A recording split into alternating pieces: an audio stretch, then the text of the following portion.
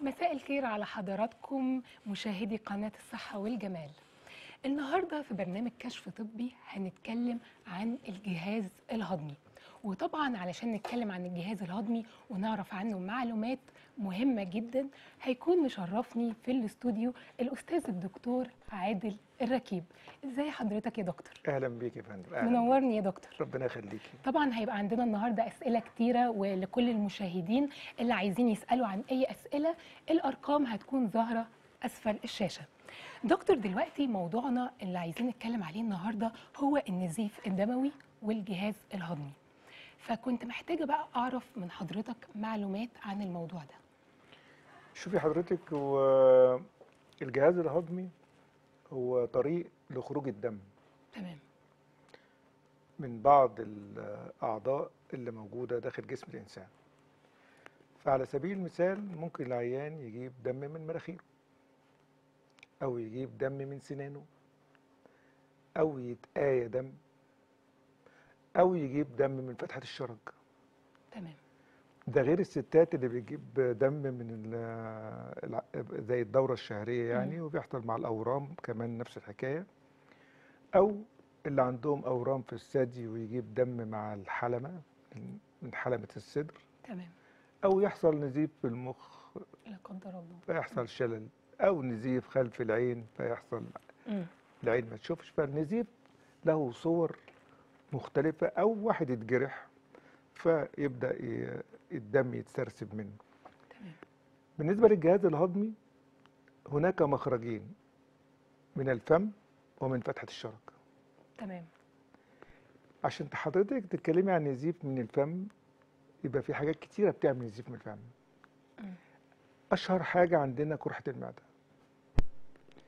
وزي ما حضرتك عارفة إن قرحة المعدة بتيجي نتيجة عوامل قد يفتعلها الإنسان لنفسه بمعنى إنه بياخد أدوية قد تسبب في قرحة المعدة.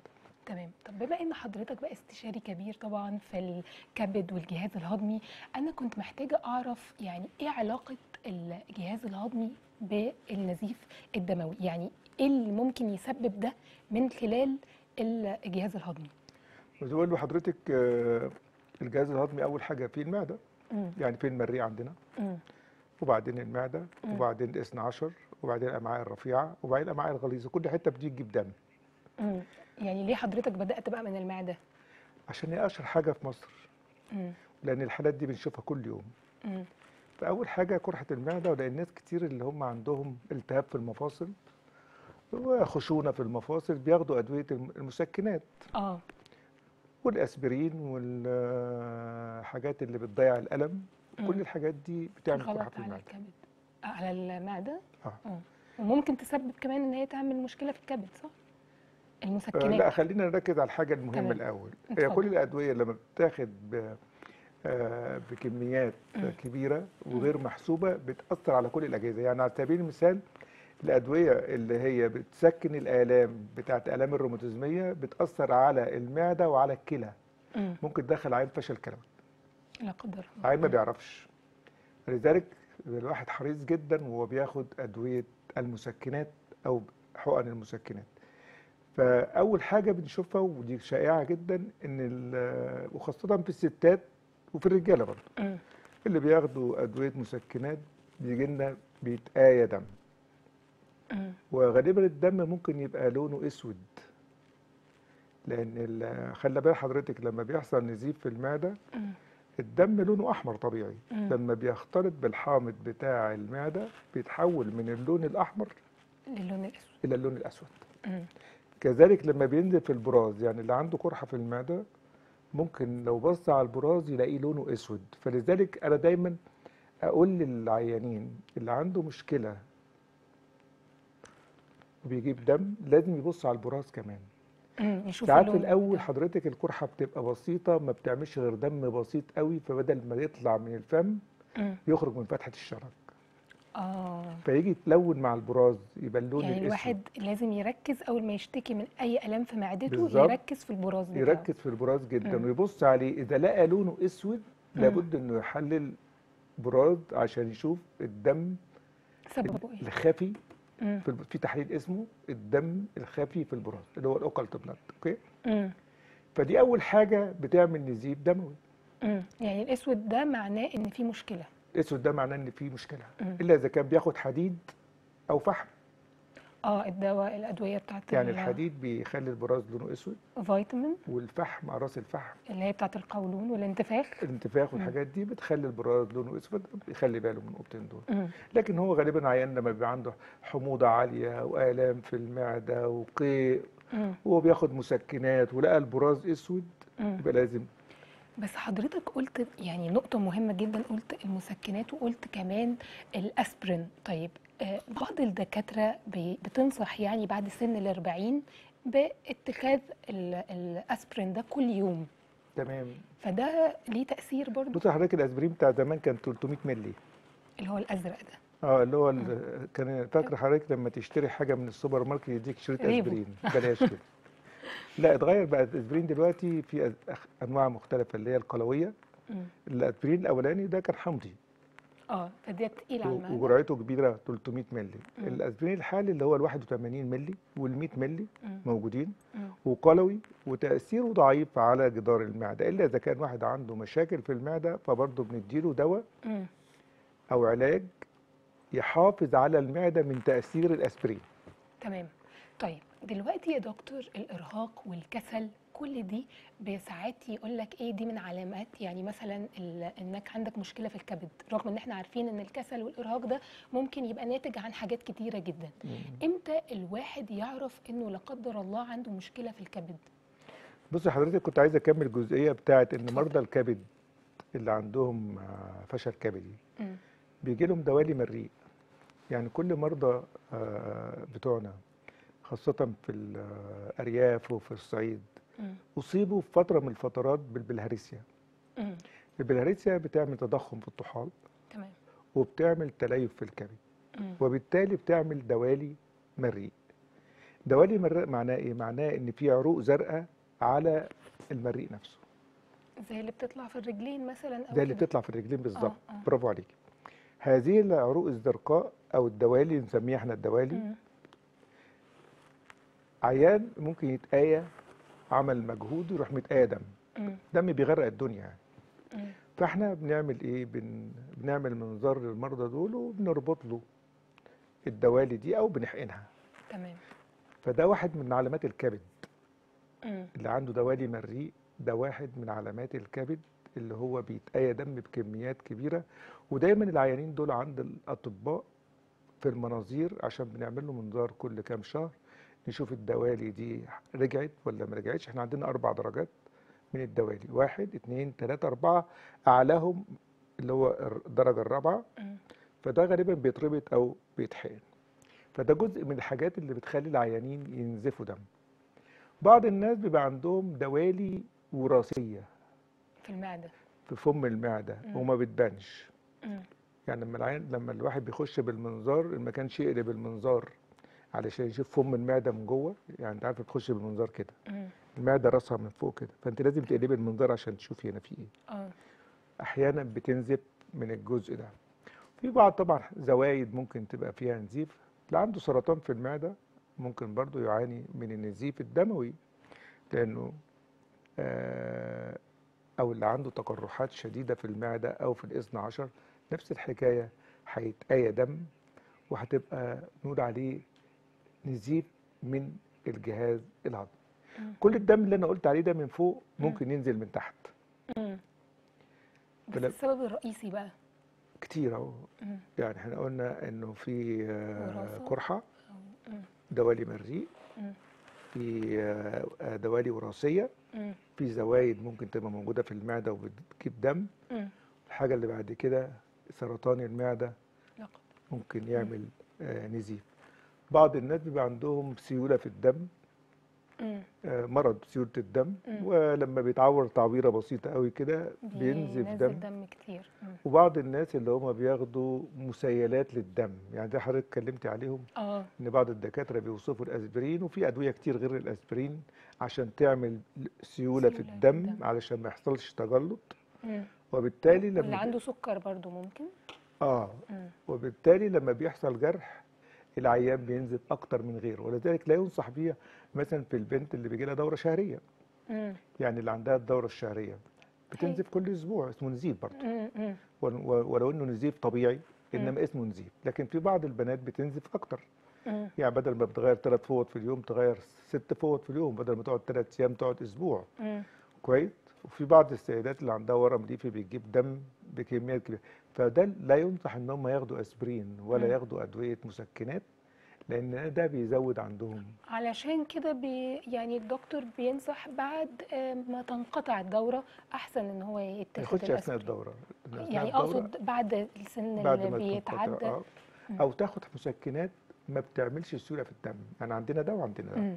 فتختار الوقت المناسب عشان تدي اللي عنده سيولة في الدم هينفع ياخد دواء آه، يزود السيولة ولا ما يزودش؟ تمام. وياخد مسكنات ولا ما ياخدش؟ وهكذا. طب خلينا نرجع بقى للجزئية تاني بتاعة القرحة آه، المعدة وإن في أدوية بتسبب آه، مشكلة ل- للمعدة. تمام؟ تمام.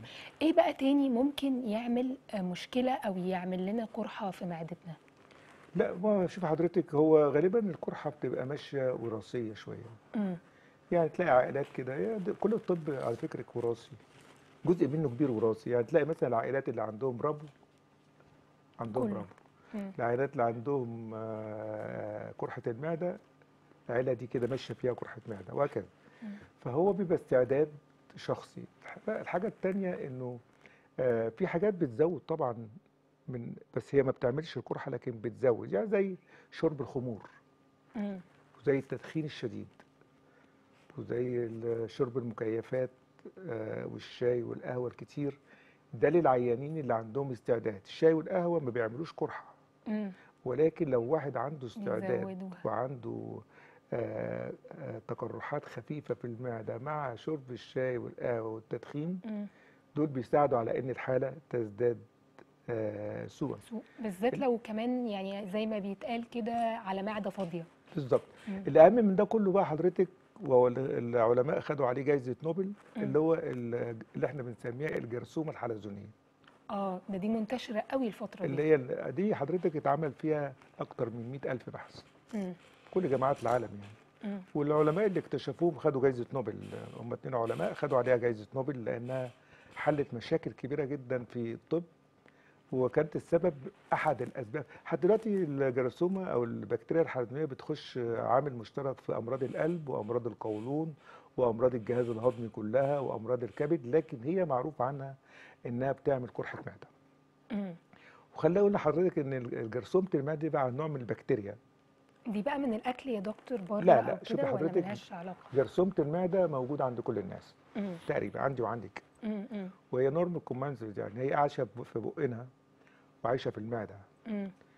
آه كتير من الناس لو عمل تحليل 70% ممكن يطلع عندهم مشكلة. جرثومة. جرثومة. فده طبيعي موجود متعايشة معاكي ومعايا. بس يعني لكن نديها علاج مم. لما يكون في مشكلة طبية. آه لأن هي بتظهر فجأة بيحصل نوع من أنواع. القيء أو خلينا الاسهال آه بالظبط. لو آه. في نشاط هيبقى ندي علاج. الجرثومة دي عيبها إنها ليها آه، أهداب زي الشنيور عارف حضرتك الشنيور. فليها أهداب بتخرم في الخلايا بتاعة المعدة مم. عشان كده هي بتعمل قرحة أو بتساعد في بتفرز مادة. تدوب الخلايا المبطنة للمعدة. فتحولها لتعويرة آه okay فأنت هتعملي إيه لازم تعالجي هذا الميكروب. لأن وجوده بيزود الجرح وبتبقى يتحول لجرح مزمن. تمام. فالعلاج بتاع الجرثومة الحلزونيه هو علاج لمدة 15 يوم. أعراضه إيه بقى يا دكتور؟ لأن أعراضه بتختلف من شخص لآخر. بالنسبة للجرثومة؟ آه. لا الجرثومة زي ما قلت لحضرتك إنها بتيجي في كذا حتة في الجسم. يعني ممكن في الإسهال تعمل إسهال وممكن تعمل قرحة معدة وفي السرطانات دخلت في أمراض الس- السرطان وفي القلب دخلت في الكبد دخلت لها تشعبت جدا الجرثومة وبقت لها قصص طويلة وعريضة. لكن العيانين اللي هم آه، عندهم قرحه إحنا بنعمل تحليل للجرثومة. تحليل الجرثومة أو البكتيريا الحلزونيه. اللي هي ليها إهداب بنسميها فلاجيليت يعني وبتخرق تخترق الجلد. التحليل بتاعها بيتعمل من أربع أماكن. نمرة واحد من البراز. تمام. نمرة اتنين من الدم. نمرة التلاتة مع التنفس. مم. نمرة أربعة عينة من المعدة. تمام يبقى أنت عشان تشخصي الجرثومة الحلزونية مم. إما إنك تعمليها عن طريق البراز أو تعمليها عن طريق عينة الدم أو عن طريق حاجة مخصوصة للتنفس. العين بتنفس فيها مم. أو وأنت بتعملي المنظار تاخدي عينة من جدار المعدة وتحللي البكتيريا الحلزونية تمام وغالبا بتطلع موجودة طب السبب. الرئيسي بقى ليها يا دكتور نعم. يعني السبب الرئيسي ليها إيه مالهاش بيكون؟ سبب رئيسي ما- هي يعني موجودة. ولا أكل معين لا لا خالص ولا خالص خالص أنا قلت لحضرتك إنها. موجودة عند كل البشر مم. متعايشة معاكي ومعايا حضرتك لو خدت اللعاب بتاعك هلاقي فيه جرثومة أقصد إمتى تأذيني يعني إمتى تطلع بقى وأحس بيها إن هي مفيش حاجة مفيش حاجة في الطب اسمها إمتى مم. يعني لما تسألي عن إمتى يجي له سكر ما تعرفيش. إمتى يجي له ضغط. ما تعرفيش إمتى الجرثومة تنشط وليه بتنشط عند ناس وناس تانية لا أيوه. ده ملهاش ملهاش تفسيرات علمية مم. حضرتك ليه واحد يجي له دور أنفلونزا يجي له ده التهاب رئوي وده ما يجيلوش. والاثنين إخوات بس يا دكتور يعني أنا مثلا جات لي قبل كده لقيت ال... يعني لما رحت كشفت الدكتور قال لي انت أكيد اكلتي حاجة ملوثة لا علشان. كده لا ليس أنا ليس قلت لها- أسأل حضرتك السبب. الرئيسي ليه ليس لها علاقة بالتلوث عايشة بقول لك حضرتك هي مم. عايشة جوانا فمش محتاج إنك تسيبها من بره خليني أقول لحضرتك إن الأكل الملوث بيعمل مشاكل مختلفة من. أول ال- آه، الديسنتريا الأميبية للجهارديا كل دي. أمراض مكتسبة من تلوث الأطعمة. مع الإسهال الحاد هو نفس من تلوث الأطعمة. لكن آه، التلوث بصفة عامة بينقل امراض يعني. لكن ال- الجرثومة الحلزونيه وده نص الشعب ياكل من الشارع. بالظبط آه. فكان كله جاله جرثومة حلزونيه لا يعني سبحان الله يا دكتور تلاقي ممكن اتنين بياكلوا من نفس الطبق وده يجيله جرثومة وده ما يجيلوش. بتعتمد على المناعة. وعلى المقاومة بتاعة الجسم مم. وعلى الحامض اللي موجود في المعدة وتركيز الحامض وتركيز الأغشية المخاطية المبطنة للمعدة خلي بقى حضرتك إن أنت عندك حماية للمعدة بتاعتك مم. يعني إيه حماية يعني في حامض بيطلع من المعدة مم. أنت عارفه الحامض اللي بيطلع من المعدة ده آه لو أنت خدتيه وحطيتيه على إيدك كل يوم كده يعمل التهاب مم. طب اللي هو بيتفرز عندنا طبيعي مم. لكن ربنا سبحانه وتعالى عمل إيه عمل طبقة مخاطية بتفصل ما بين الحامض وما بين جدار المعدة. علشان ما يحصل لناش عشان حموضه ما يحصلهاش الالتهاب. عشان كده اللي عندهم حموضة عالية بيعمل التهاب في منطقة ال- الحموضة. لذلك ولذلك لازم تدي أدوية مضادة للحموضة علشان ما تزودش المشاكل. الحاجة التانية إن الحموضة ساعات تعمل التهاب أسفل المريء. خاصة الجماعة اللي هم عندهم ارتجاع مريء. آه. الحامض ده لما يرجع تعرف ارتجاع المريء معناه إنه الأكل بيرجع المريء.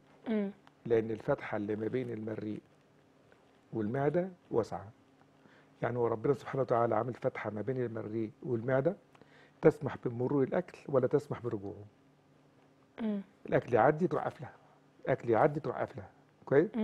مع حاجة اسمها ارتجاع المريء الفتحة دي عاملة كده بتبقى مفتوحة مفتوحة ترجع. تاني فحضرتك وأنت نايمة بالليل الأكل بيرجع. لانك بتنامي على ظهرك. عشان كده دايما بننصح الناس دي إن هو ما يتعشاش وينام.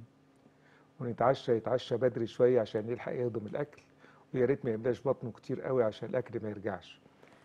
المشكلة بقى إن الحامض لو رجع على أسفل المريء بيعمل what's called بيعمل Barrett esophagus يعني Barrett esophagus اللي هو ال esophagus البارتي يعني اللي هو بيعمل تغيرات في الخلايا أسفل المريء. ويحولها لسرطانية. لأن المريء ما بيستحملش الحامض. مش مجهز يعني المعدة مجهزة إنها تستحمل الحامض لكن المريء مش مجهز إنه إنه يستحمل. الحامض. فبيحصل تغيرات في الخلايا ودي بتقلقنا جدا فلازم العيان اللي عنده ارتجاع مريء بيعمل منظار كل فترة عشان يطمن إن أسفل المريء ما عنده حصلش فيه تغير في الخلايا بتاعته أو تغيرات آه، اللي هي بنسميها تغيرات خلايا سرطانية. ده الجزء العلوي بتاع الدم. في بعض الناس بتجيب دم من سنانها. آه. يعني يقوم الصبح يلاقي على المخده دم. في ناس بتجيب دم من مناخيرها. آه. يقوم الصبح يلاقي إيه. ده حاجة وده حاجة. الدم اللي جاي من المناخير ممكن يبقى عندهم عروق صغنطوطة كده. في المراخير رفيعة شعيرات دموية يعني بتفرقع. أو مشكلة في الضغط أو هو نايم بيروح فاحصها كده فاعصها مم. فتنزل وهو مش واخد باله آه، أحيانا مع الضغط العالي يحصل انفجار في هذه الشعيرات مم. إنما لو ضغطه مش عالي وواحد آه، أو البنات خصوصا بيحصل لهم الحكاية دي لو في دم بينزل من المراخير مم. دكتور الأنف واذن بيكوي الشعيرات اللي فيها المشكلة عارفه الشعيرات ده ممكن عندك شعيرات على الفخذ كده الشعيرات. الحمراء. الصغيرة دي. لو خبطتيها جامد تزرق عندك. هنا لو اتخبطت جامد بتفرقع. بتنزل دم فدي حاجة من اتنين يا إما الشعيرات دي موجودة زي الدوالي يعني عاملة زي الدوالي. واما إنها ضغط عالي فيؤدي إلى انفجار هذه الشعيرات كويس. الحاجة التانية المهمة الدم اللي بيطلع من السنان مرضى الكبد عندهم حاجة بيكونها الكبد اسمها البروثرومبين مادة اسمها البروثرومبين. هذه المادة بتحافظ على إنه ما يحصلش نزيف. مادة بتمنع النزيف كويس عن أي منطقة في الجسم؟ في الجسم كله. مم. يعني ال- ال- ده الكبد من الحاجات اللي بيكون مواد تمنع سيولة الدم. تمام. فالمرضى اللي عندهم فشل كبدي ما بيقدروش يكونوا هذه المواد. وبالتالي تلاقي سنانهم بتجيب دم. أي عيان سنانه بتجيب دم مع فرشة السنان أو لوحدها لابد إن يشوف الكبد. يعني دي مش مشكلة مثلا في اللثة يا دكتور؟ دي معلومة ناس كتيرة بيعتقدوا إنها في اللثة. آه. وبعض دكاترة الأسنان بيفضلوا يعالجوا المريض بالسنة والسنتين تحت باب إن دي لسه مم. هو الحقيقة مش لسه يعني ع- ناس كتير بتخطأ بهذا الخطأ. شوفي حضرتك اللي يطلع الدم من هنا يمكن حضرتك التهاب اللثة بس بتبقى لثة العيان مورمة. مم. ومحمرة ومزنهرة ومش كل يوم يعني مش كل ما يغسل سنانه مثلا ي- وباينة وباينة لكل الناس مم. يعني بتبقى أسنانه باينة لكن مرضى الكبد السنان بتجيب دم أو اللثة بتجيب دم عشان المواد اللي بتتكون ما بتتكونش مم. الحاجة التانية في مرض اسمه سرطان الدم مم. اللي هو مرض اسمه monocytic leukemia اللي هو الخلايا ال mono ال- ال- الأحادية يعني مم.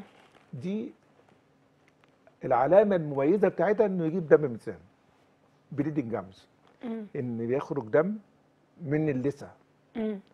يبقى أكتر ثلاث حاجات ممكن تخلي العيان يجيب دم من آه، أسنانه من أسنانه مم.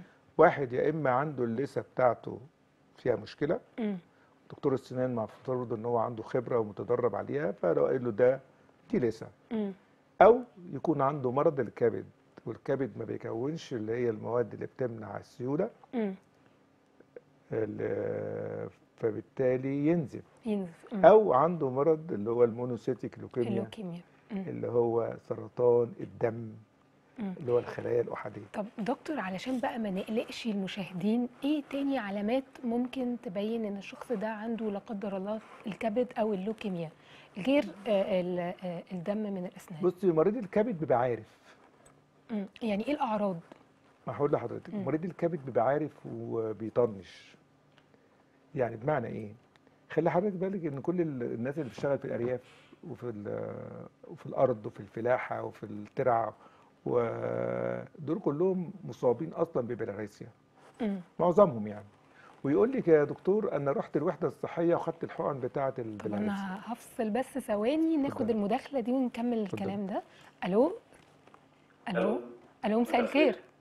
مساء النور. أستاذ أحمد؟ أيوه. أهلا بحضرتك اتفضل. أهلا أهلا بحضرتك. أنا بس كنت عايز أشكر دكتور عادل والله على يعني تشريفه لينا. ودايما بنستفيد بيه بال- بالعلم المبسط اللي بيبسطه لنا وبيفيدنا كتير جدا والله. فأنا كنت حابب أشكره والله. ميرسي جدا يا دكتور. ربنا يخليك يا حبيبي. عايز تسأل. الدكتور أي سؤال؟ أه لا والله أنا مستمتع جدا بالحلقة ودايما متابعكم يعني. شكرا شكرا. ميرسي قوي شكرا. طيب دكتور خلينا نرجع تاني لايه هي الأعراض اللي الشخص ممكن يحس بيها لو عنده مشكلة في الكبد أو لا قدر الله لوكيميا غير إن هو ينزل دم من أسنانه علشان الناس ما شوفي تقلقش؟ حضرتك بالنسبة للمرضى اللي عندهم الكبد بصفة عامة عندهم سوء هضم بصفة عامة. مم. يعني خلي بال حضرتك إن الأكل اللي بتاكليه يخش عليه عصارة هضمية. العصاره الهضميه دي بتيجي منين؟ بتيجي من البنكرياس بتيجي من المرارة وبتيجي من الكبد. لما يكون عندك جزء مش قايم بالواجب بتاعه كما يجب. فبالتالي العصارات الهضمية اللي نازلة على الأكل هتبقى مش مظبوطة. فدايما العيانين بيقولوا عندهم مشاكل في الهضم. وانتفاخ وغازات و- ودايما يقول لك أنا بطني مش مرتاح الحاجة التانية حضرتك عارفة الفيروسات اللي جت آه، فيروس آه، الكبدي اللي هو B و C. الفيروسات دي وجدوا إنها بتعمل إجهاد يعني أكتر من نص العيانين بيروح للدكتور يقول له يا دكتور أنا مش أنا يقول له يعني إيه أنت مش أنا يقول له أنا كنت بعمل مجهود في اليوم ست سبع ساعات دلوقتي لو اشتغلت ساعتين يبقى. كنت بطلع سبع تمن أدوار مش قادر أطلع أكمل السلم مش بنهج. لا مش قادر. كنت بلعب كورة ساعتين دلوقتي لو لعبت ربع ساعة مش قادر. يبقى. إحساس بالإجهاد. والتعب والرغبة في إنه يقعد في السرير قوي يعني عايز ينام عايز يرتاح. لأن الفيروسات بتعمل كده فدول. مرضى الكبد. الحاجة التانية إنه زمان يقول لي يعني العيان اللي خد بالهارسيا يقول لك أنا كنت بجيب دم في البول أو كنت بجيب دم في البراز. فهو عنده قصة يقول لك بس اتعالجت للأسف آه. الشديد إن العلاج اللي كانوا بياخدوه زمان ما عملش نتيجة. كان في زمان حقن اسمها حقن الترطير واقراص اسمها أمبلهار مم. فكان بياخدوا 12 حقنة في الوريد. علشان يتخلص من البلهارسيا عشان يتخلص من البلد فجالهم فيروس. لأنه زمان حضرتك لو فاكرة إنه الحقن ما كانش معقمة ما كانش بلاستيك. مم. مكان بعض. كان عندنا الحقن الإزاز. مم. كانوا يروحوا الوحده الصحيه يقفوا طابور. بتتغلي وتستخدم تاني. والنور مقطوع. فالغلاية ما كانش بتغلي الحقن. كمان. وبعدين إحنا ما كانش في بالنا برضو ان إحنا لو عملنا كده هيتنقل فيروس. يعني خلي بال حضرتك لأن كل بيت زمان انت عارفة زمان كانت العلبة بتاعت الحقن دي علبة صفيح كده صغيرة مم. والعمارة كلها عندها فيها علبة واحدة وبيستلفوا من بعض الحقن وكان في تمرجي كده بيعدي على البيوت شايل شنطة زمان مم. بيدي يلف بالليل بعد ما يخلص العيادة يلف على البيوت يديهم حقن مم. هي علبة الحقن اللي عنده دي بيديها كل الناس كل البلد بتاخد فيها. طب دكتور ناخد الحاج رجب من الأقصر. ألو؟ السلام عليكم يا أستاذة. عليكم السلام ورحمة الله وبركاته. والله أنا بحييك وبحيي الدكتور وبحيي فريق الإعداد المحترم وقناة صحة وجمال. قناة بصراحة استفدنا منها كل حاجة والله. شكرا. ألف شكر. رب ربنا حضرتك طبعا من فيكم. أصدقاء القناة يعني. آه أنا طبعا على طول والله يا شيخ لو أي حاجة كده بصراحه يعني فريق الإعداد محترم محترم محترم فعلا يعني. طيب عندك سؤال للدكتور يا أستاذ رجب؟ آه عندنا دايما كنت يعني دايما كنت أضرب العود الكبريت. آه في أسناني كان يجيب دم. فأنا دروك لما سمعت الدكتور قلقت شوية كده فما عرفتش يا ريت يطمني يعني. حاضر حاضر. تمام. الله يبارك فيك يا رب. شكرا شكرا لحضرتك. شفت بقى يا دكتور؟ يعني هو ده اللي كنت بتكلم فيه مع حضرتك إن إحنا مش عايزين نقلق المشاهدين من خلال لا، بص. علشان كده عايزين نعرف معلومات أكتر. يعني إيه المشكلة اللي ممكن بقى ساعتها لأ أنا لازم أعمل آه تحليل للكبد وأشوف إيه المشكلة اللي عندي. بس بعد الفاصل.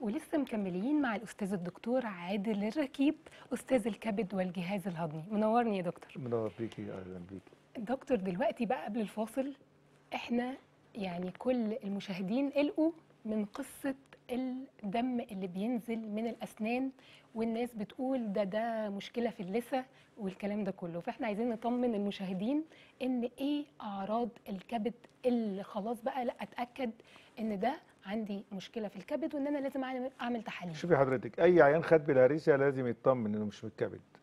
أي عيان خد فيروس B أو فيروس C لازم يطمن إنه مش من الكبد. أي عيان كان عنده مشاكل في الكبد سواء عنده سكر وانت عارفه حضرتك السكر بيعمل آه، كبد دهني. والكبد الدهني بيتقلب إلى تليف في الكبد جزء منه بعد كده نسبة منه يعني. مرضى السكر لازم يعملوا متابعة بالنسبة للكبد لأنه الكبد بيكبر مع مرضى السكر وبيتخزن فيه دهون. والدهون والكبد بيتحول إلى تليف في جزء كبير من 10% من الحالات تقريبا تمام طب علشان ندخل يعني آه، أدق واحد عنده القصة. دي مم. لازم يدور على الكبد. طيب علشان نعرف المعلومة دي أكتر بس ناخد رمضان من الجيزة. ألو؟ ألو؟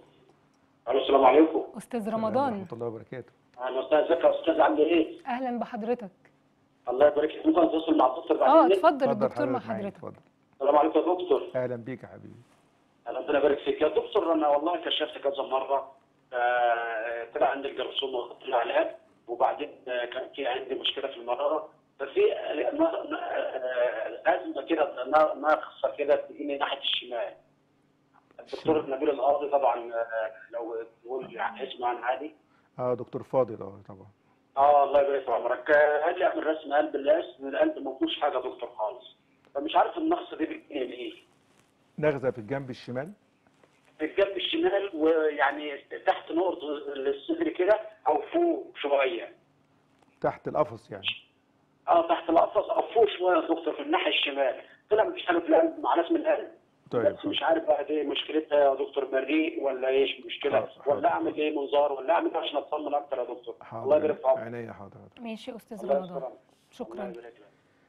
إحنا نكمل الجزء وبعدين نكمل آه، المشكلة بتاعته ولا نقول له لا المشكلة إحنا نقول الأول نحل المشكلة لأن للأسف ولا هو الوقت مشكلته هو مش الجنب بص حضرتك. أي ألم في الجنب الشمال. الجنب الشمال ده فيه إيه. في طحال. وفي القولون تمام وفي القلب مم. أحيانا العيان لما يجي له ألم في الجنب الشمال يظن إنه القلب آه ده حقيقي فيجري على الدكتور مم. الدكتور يشوفه ويعمل له رسم قلب يقول له أنت زي الفل مم. في حاجة اسمها anxiety neurosis اللي هو التوتر العصبي مم. وده بي... هنا بيجي بألم في الصدر كويس مم.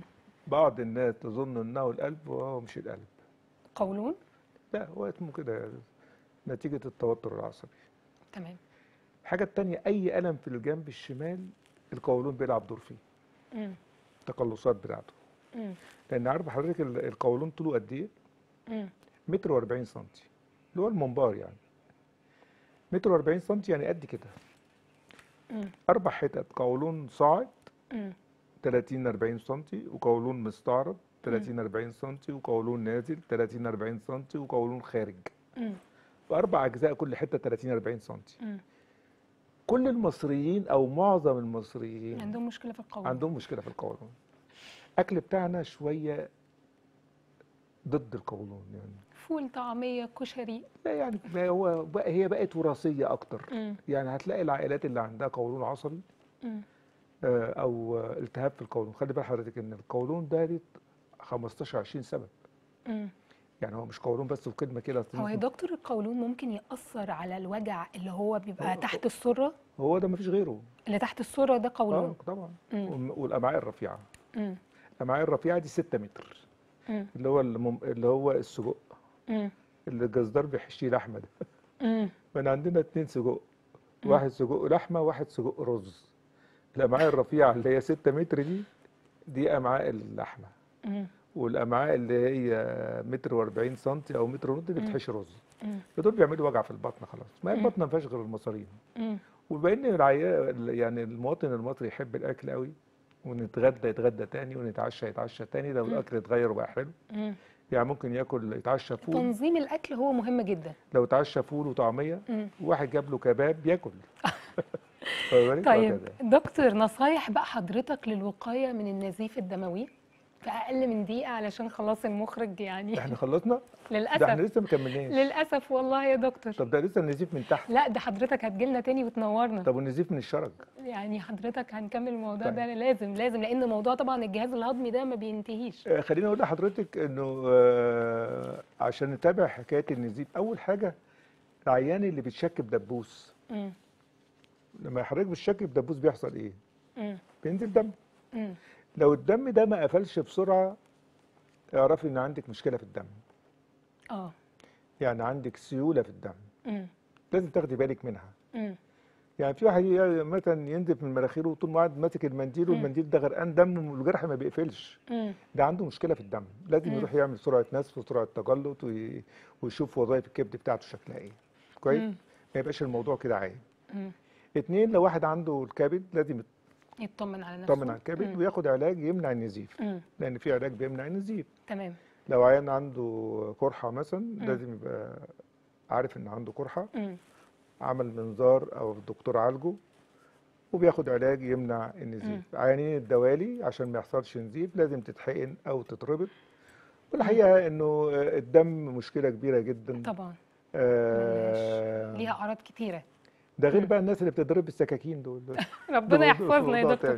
الأستاذ الدكتور عادل الركيب أستاذ الكبد والجهاز الهضمي كنت حضرتك منورنا ولينا إن شاء الله لقاء آخر. أشكرك وميرسي قوي على التقديم وعلى آه، تعاونك في الحلقة يعني مذيعة جيدة يعني. شكرا يا دكتور شكرا يا دكتور. نورتنا يا دكتور في برنامج كشف طبي. شكرا لكل المشاهدين.